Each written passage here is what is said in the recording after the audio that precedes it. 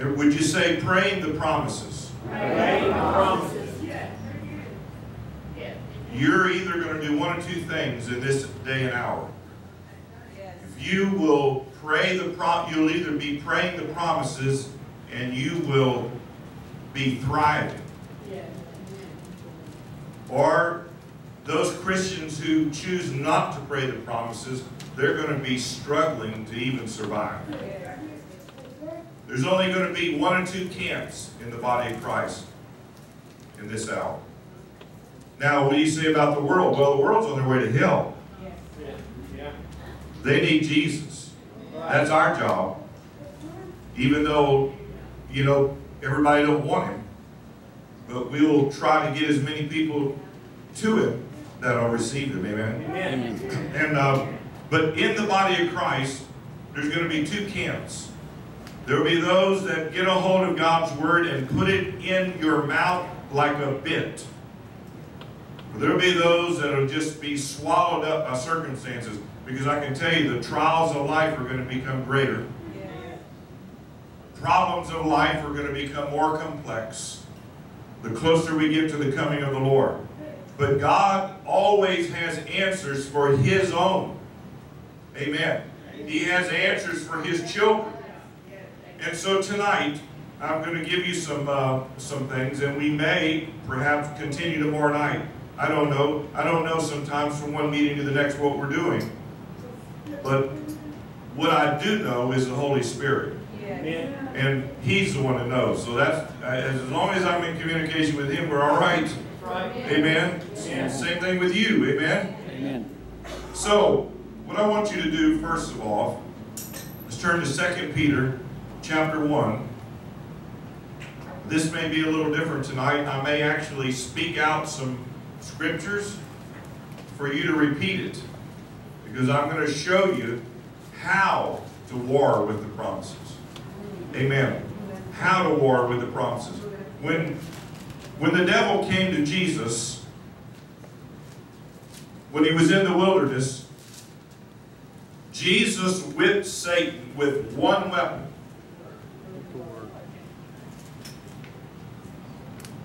Now, you know, there are a lot of different things we need to pray in the Spirit. We've taught extensively on praying in tongues, why you need to be doing it as many hours a day as you can. Worship, we've got we've taught on that, gotten into Tehillah praise and how the throne can come in on top of it. But it's interesting that Jesus used one weapon when the devil came at him. And that weapon took care of the job. He spoke God's word with his mouth. Satan came at him three very real temptations. Jesus came right back at him. It is written, it is written, it is written. And if you are armed with God's word in your mouth, the devil will not be able to hang around your house. He cannot handle that type of food. We will give him Montezuma's revenge. and he'll want to get out of your place quick. So, 2 Peter chapter 1, beginning with verse 2, says, Grace. Say grace. Grace. Grace is God's divine favor. Divine favor and peace be multiplied to you in the knowledge of God. You will never have any greater favor and any greater level of peace in your life than your personal knowledge, not mine, not Pastor Ross, your personal knowledge of God. So, grace and peace be multiplied to you in the knowledge of God and of Jesus our Lord. Seeing that his divine power has granted us, to us, everything pertaining to life and godliness. You see, the power of God is in this place. The power of God, I hope, is in you. Amen. And if it's not in you, you can have it tonight. Amen. We've had at least 55 people filled with the Holy Ghost in these meetings speaking in tongues. Amen. And if you don't have that and you want it, you can get it tonight because you're going to need it. Somebody said, I'll wait till I get to heaven. You won't need it there. You won't have it there. Bible says prophecy will cease, that's when it'll cease. Tongues will cease, that's when it will cease. When you're in the presence of God the Father and, the, and Jesus, you won't have to have a tongue and somebody interpret it. You understand? You need that language now. You need that power now because you're facing demons now. And all they want to do is kill, steal, and destroy. They want to kill you. They want to steal everything you got. They want to destroy your life. But praying in tongues is a hotline to heaven. The devil does not understand the word you're saying. That's reason enough to be praying in it. Amen. You're praying divine secrets. Amen. Just wanted to say something about that because I feel like maybe there's some people here tonight you did not feel with the Holy Ghost and you need it. I'm not suggesting that you get it. I'm, I'm saying you it's a necessity if you're going to thrive in this hour. So he says that his divine power has granted to us how many things? All. All things. All things that pertain to what? Life. Amen. Say life and godliness. Through the true knowledge of him who has called us to his own glory and excellence. For by these he has granted to us his precious and magnificent promises. Say precious, magnificent, promises. In order that by them you might become partakers of the divine nature. Now, I've studied this Bible most of my life. I love it. I've slept in the Word for I can't tell you for the last several years how many nights that I wait, I've woken up, that that's what I've woken up to is God's Word. On an iPod or something or another. I just love the Word. And you see, there is only one scripture that I know of in studying the, from Genesis to Revelation where God actually says that a human can partake of the divine nature. And it's this one right here. And I only know of one way that he said it can happen. Now that's powerful stuff. How many of you want to actually partake of God's nature? Amen. Let's look at it.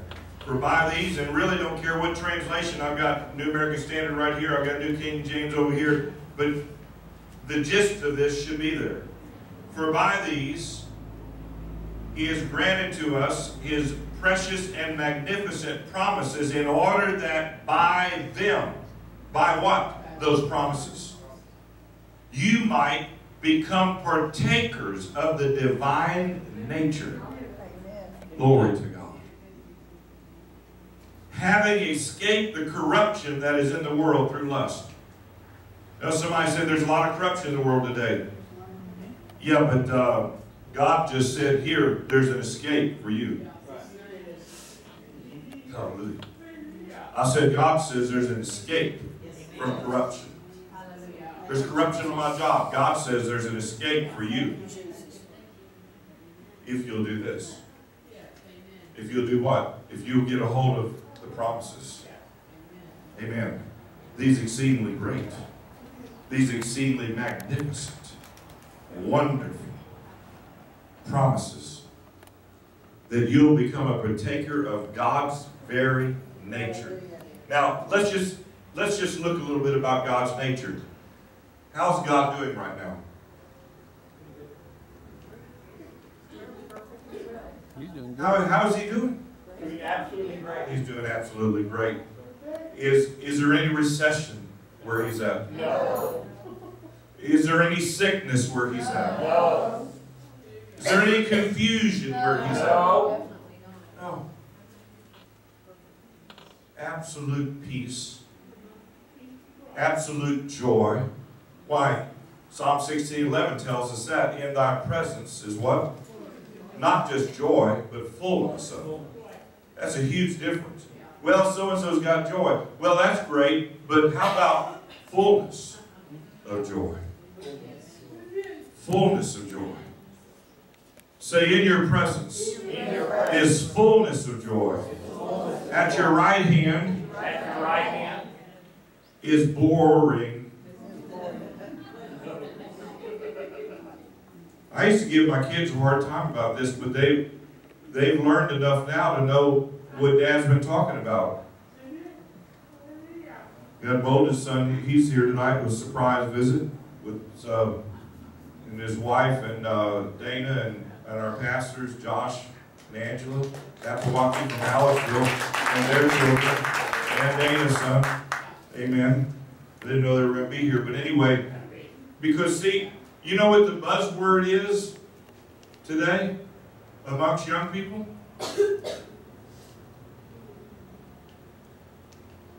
I'm bored. Well, it, well, just let me see your hand. How many of you hear that? Look at all the hands. I'm bored. You just told me you don't know God.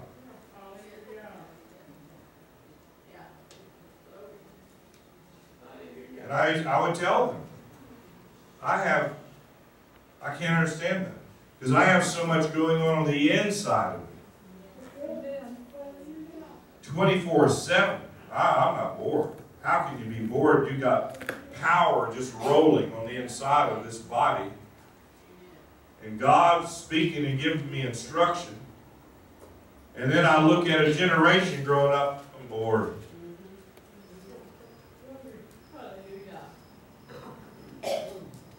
Well, but I go to church. Oh, well, then God's not in that church. Because in the presence of the Lord, not 20 times out of 40, not 20 times, not 30 times out of 40, not 39 out of 40, 40 times out of 40, 100 times out of 100, 1,000 times out of 1,000. When you get in His presence, there will always be fullness of joy, and at His right hand will be pleasures forevermore. As far away from boring as possible. You can you can have the fastest computer and be bored. If you're into gaming, you can have all of the games and everything that we're running. You can have you can have every piece of equipment that you possibly think you can have. The world's best stereo. I don't care what it is. You're going to become bored because that's not what solves boredom. It's your walk with Him. Oh, hallelujah. I mean, He's just on my body right now strong. Amen. Oh, hallelujah. It's your walk with Him. Because He's never bored. He's never sick. Amen. You mean, is it possible for me not to get the flu this year? It's not only possible, but if you'll get a hold of what I'm dealing with tonight, it won't even come in your house. It used to wipe me out. Just like everybody else. And, and I, I'm not telling anybody, if you need a flu shot, get one. I've never had one. And I just don't need it. You say, why don't, why don't you not eat? Because I'm vaccinated.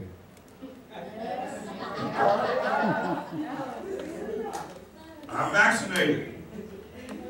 Amen. I go around people that have got it wiped out and everything, and I'm vaccinated. I'm vaccinated. I want to share with you some how to vaccinate yourself tonight. Amen. And I and I, I was a preacher for years and got it and got wiped out for a couple of weeks. I, I know what it means to be laid out in the bed and the whole family wiped out and all that. It doesn't happen anymore. Because I learned how to partake of his nature. I said, I learned how to partake of his nature. And there's only one way that I know of in Scripture to partake of his nature, and it's through the promises. Say, through the promises. Hallelujah. Whoa, glory to God. Now, let, let's look at it closely one more time. For by these he has granted to us his precious and magnificent promises, in order that by them you might become partakers of the divine nature, having escaped the corruption that is in the world by lust. Now, I want you to turn now to 2 Corinthians chapter 1, verse 20. Now, read this in the Amplified. 2 Corinthians chapter 1, verse 20.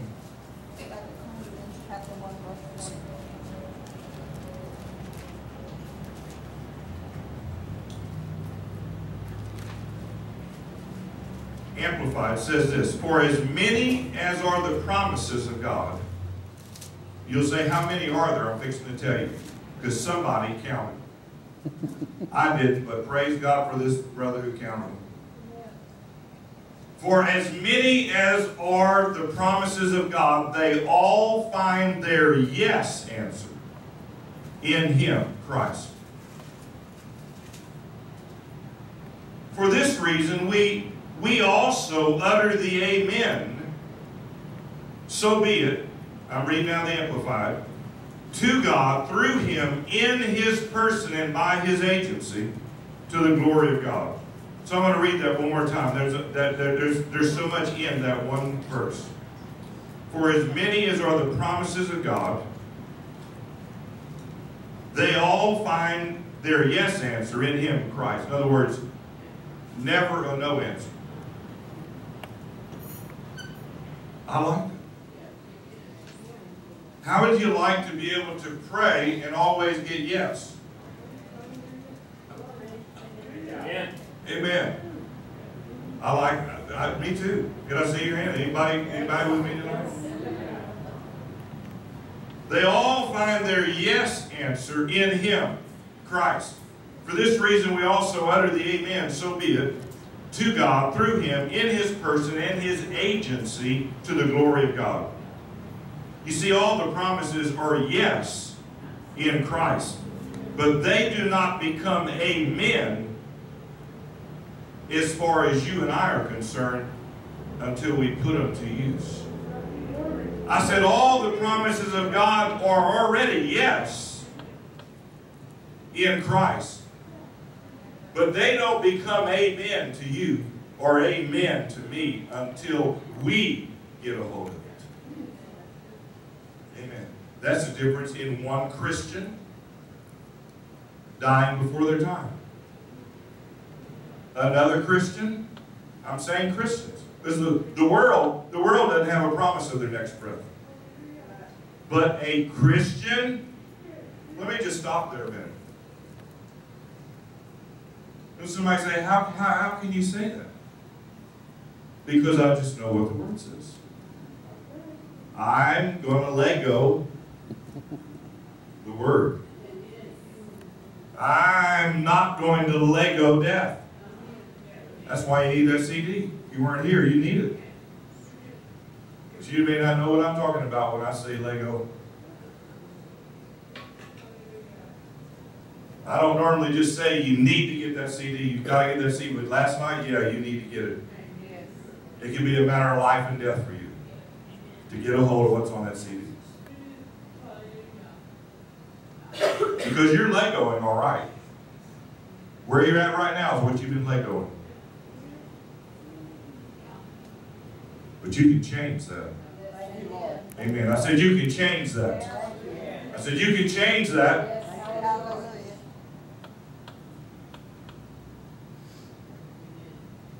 Y'all help me. What was I just saying before that? That's it. Dying before your time.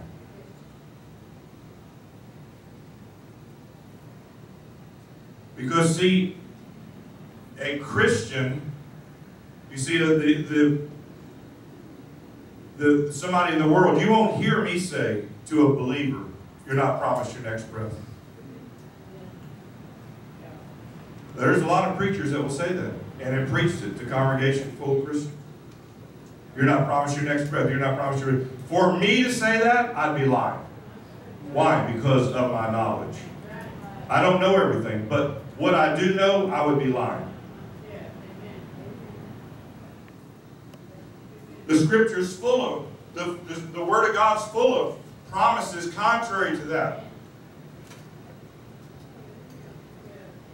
The end of Psalm 91, how does it end? With long life I will satisfy him and show him my salvation. Now you got to be a Psalm 91 Christian.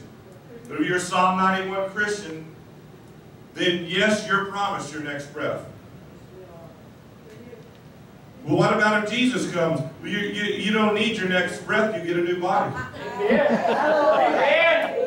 I said, you don't need your next breath, you're going to get a new body that will never die. It'll just walk right through that door.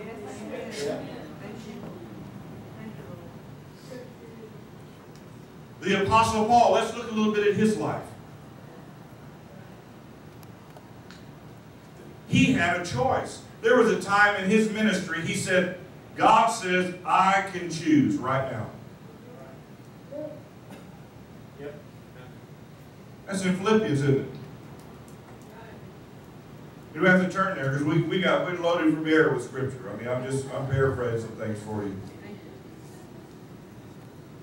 He said, It's better for me right now to leave the planet.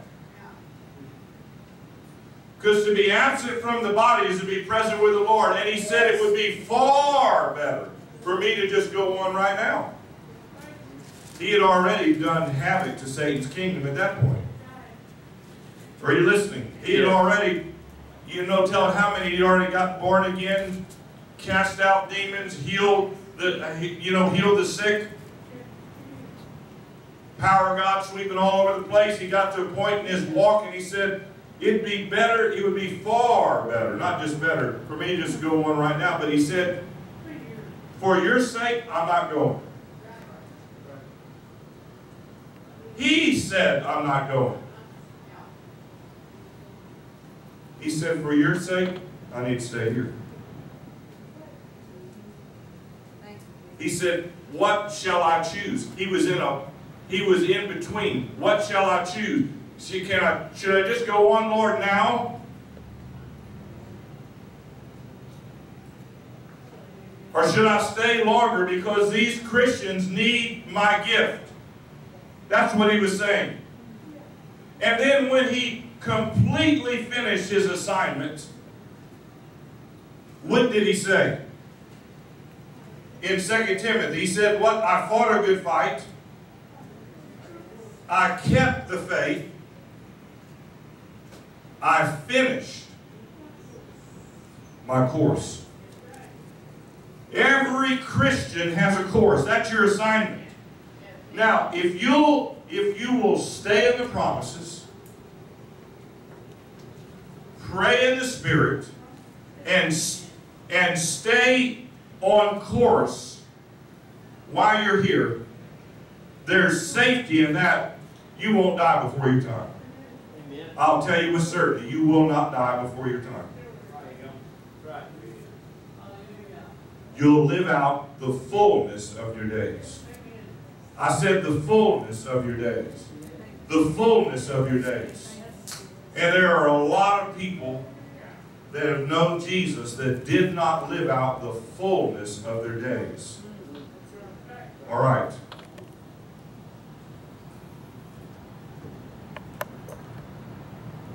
You know, what if somebody shows up with a, with a gun?